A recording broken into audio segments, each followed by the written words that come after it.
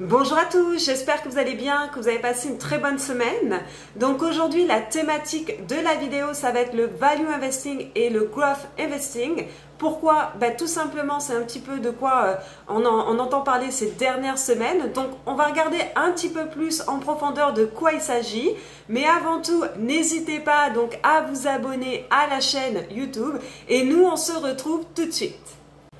Alors, certains d'entre vous ont déjà entendu parler du value investing grâce à notre populaire.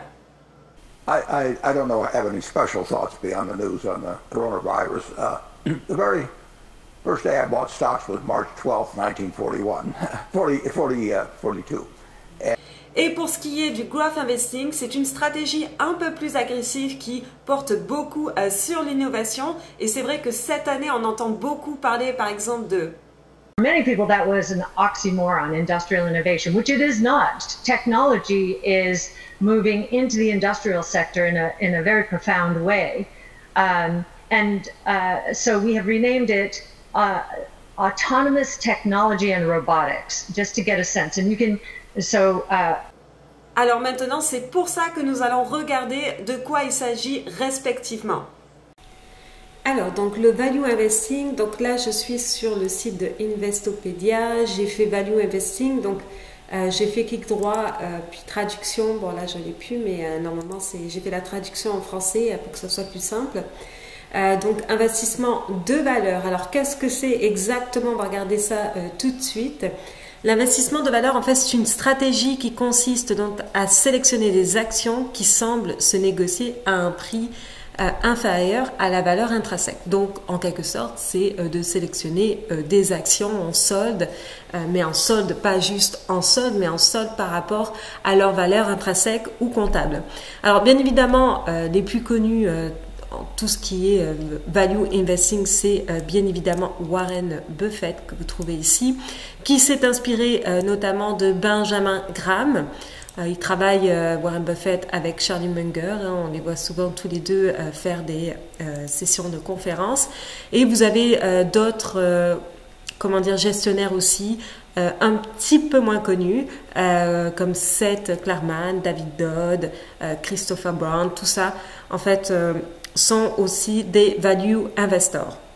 Donc en fait, c'est euh, vraiment hein, les points clés à retenir, c'est vraiment euh, une stratégie d'investissement qui consiste à sélectionner euh, des actions qui semblent se négocier à un prix inférieur à leur valeur intrinsèque.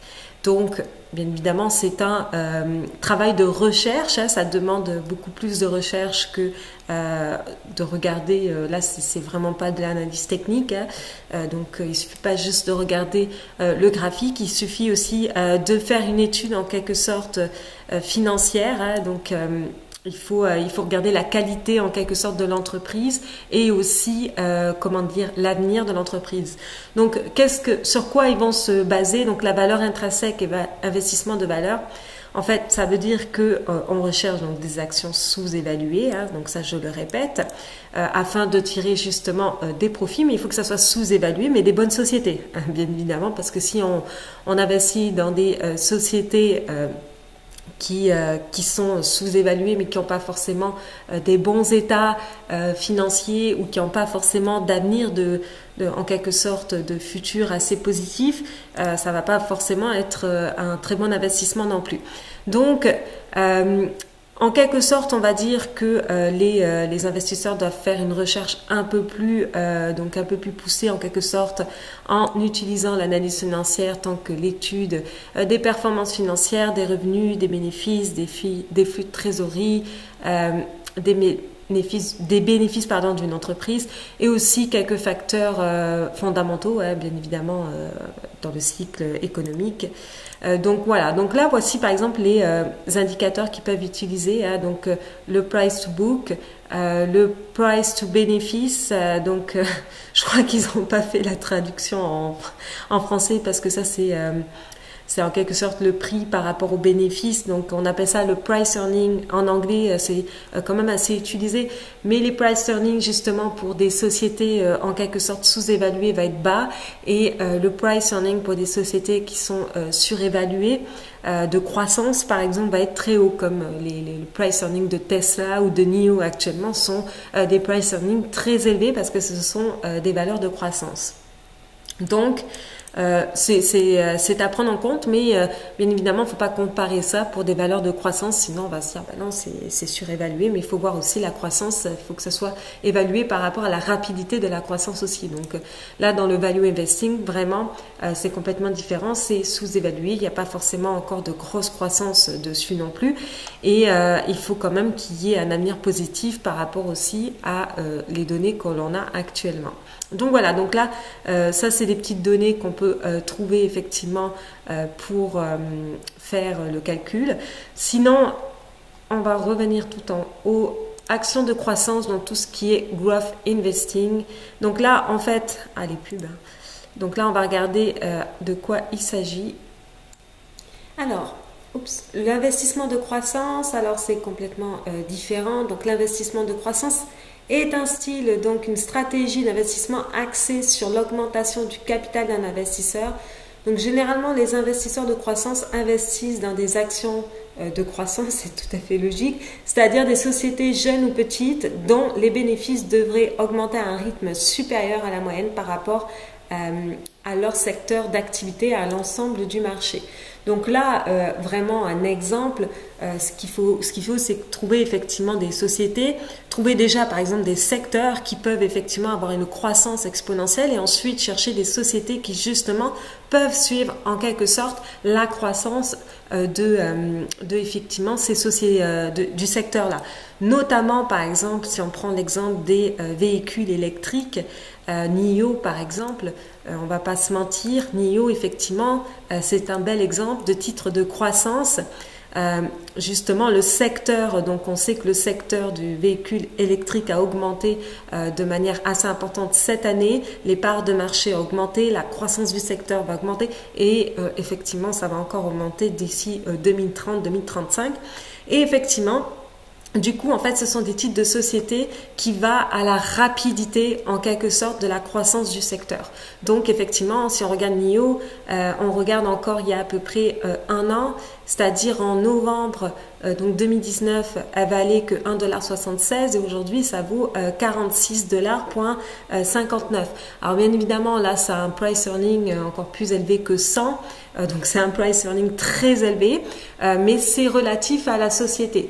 Donc effectivement il faut savoir que les sociétés de croissance, les sociétés qui vraiment vont croître à la, à la rapidité du secteur, vont avoir des price earnings, donc vous savez la valeur qu'on utilise pour faire du value investing beaucoup plus élevé que le price earning du value investing. Donc juste petite parenthèse, le price to earnings, euh, qu'est-ce que c'est exactement?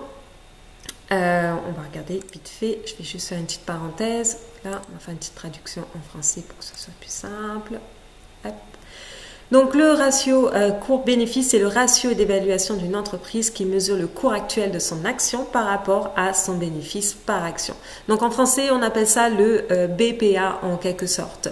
Donc ça, en fait, ça permet de voir la valeur de l'entreprise, mais c'est vrai que si on regarde ça sur des valeurs comme NIO, euh, on voit que les earnings sont à peu près, vous pouvez constater, vraiment très bas.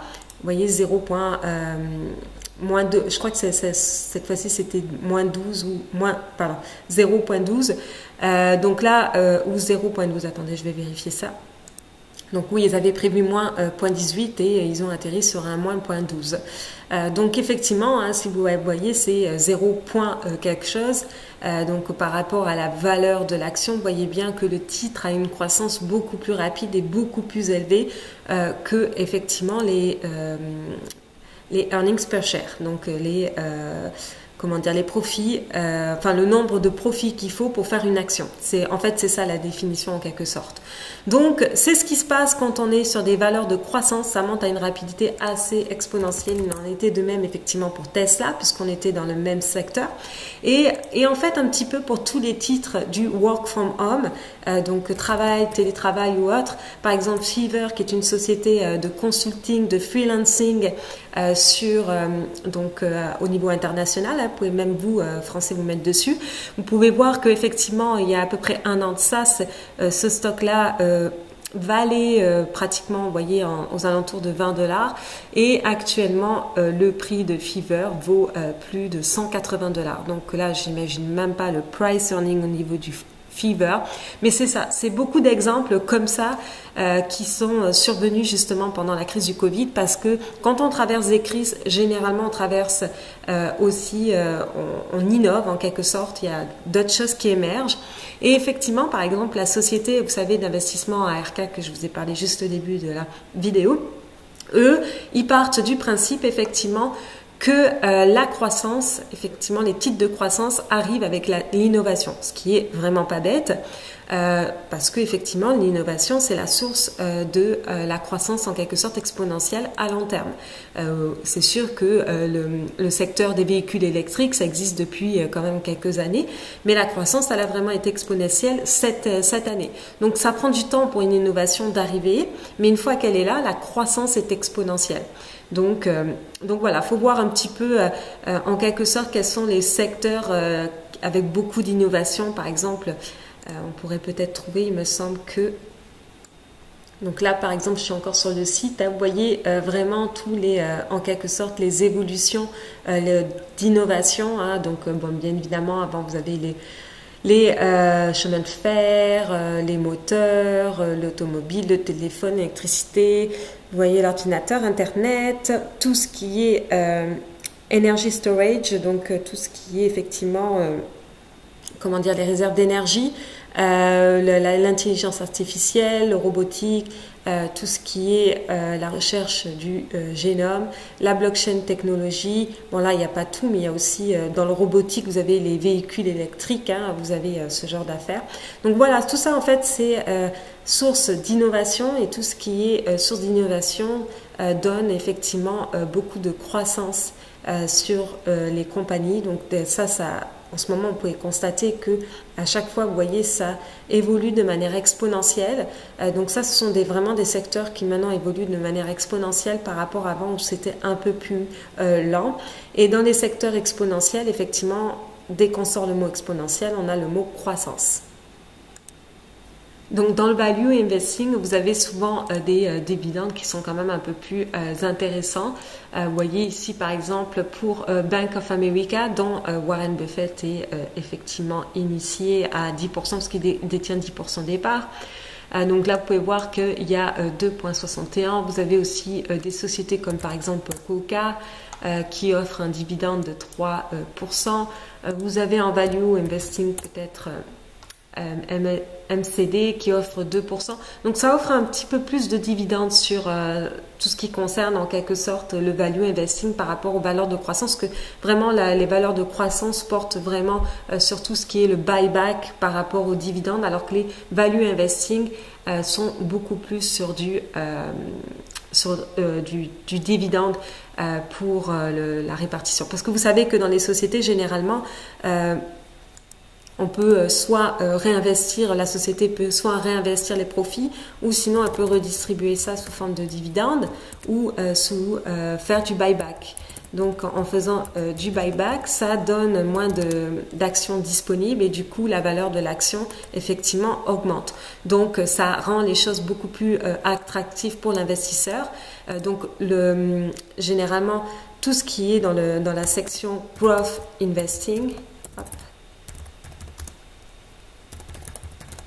va plus se pencher sur le buyback